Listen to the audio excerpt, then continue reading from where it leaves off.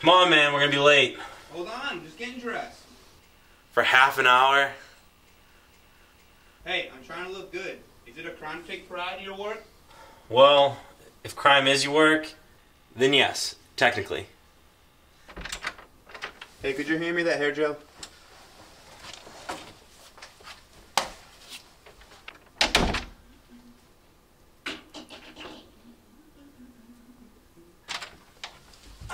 That's what I'm talking about. Looking this good is the least we could do for him. What are you looking at? So, are we planning on torturing this guy to death with your outfit? Wait, what's wrong with this?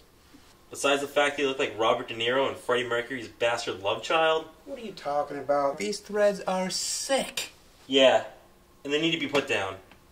Come on, let's go. Okay, I just feel bad. The last thing this guy's gonna think is that he's about to be killed by the cast of Jersey Shore. Hey, good driving.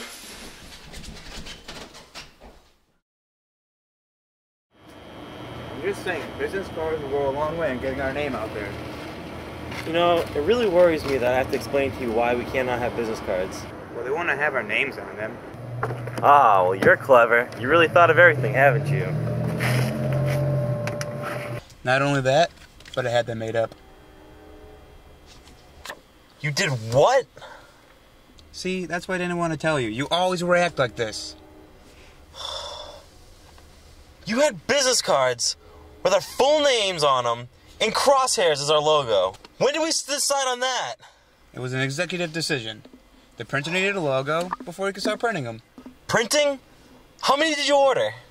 Well, there was a price break at 100. You're the one who's always talking about how we need to save money.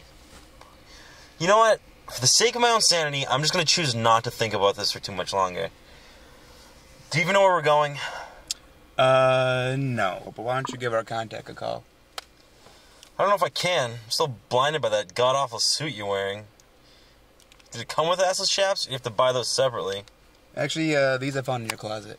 Well, make sure to give them back. Elton John's coming over for dinner tomorrow. I don't want to be embarrassed to be seen with you.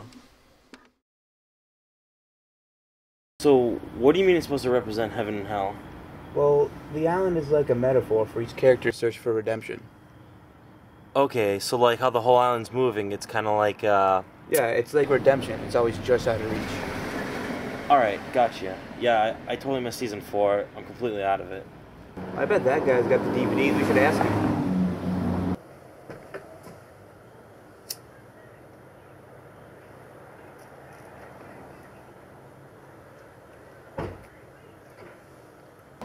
Damn, that's him. Oh, he's smoking. What? Cigarettes. Those things will kill you. What? what? Okay, whatever. How do you want to do this? All right. Um, I think you should sneak up behind him. I think you should sneak up behind him. Why? So that way he doesn't have to actually see this terrible suit you're wearing. You know what? Lay off the damn suit. Hey, who the hell are you? Shut up for a second. You've been on my case ever since we left. Uh, Tim, don't you think we should do something about... Hey, I demanded what you I said thought what I you're told doing. you to shut up. I'm trying to have a conversation with my friend here, and you keep interrupting us. Tim, I th- really think we should... That's it. I'm gonna call Hold the on, hold on a police. second.